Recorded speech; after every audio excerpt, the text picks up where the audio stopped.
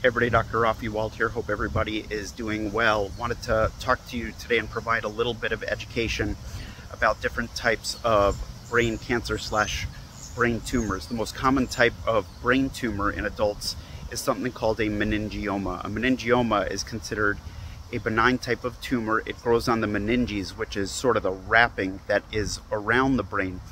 Considered benign because it generally does not grow, or if it does grow, it grows extremely slowly. When a person does have a meningioma, that is not changing the shape of the brain. In other words, it's not making the middle line of the brain shift in one direction or the other.